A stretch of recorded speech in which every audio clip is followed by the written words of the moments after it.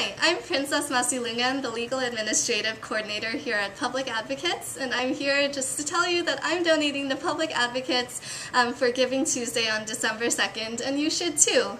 Um, I'm giving because we work with community groups to ensure that families have access to affordable housing and an equitable education for their children.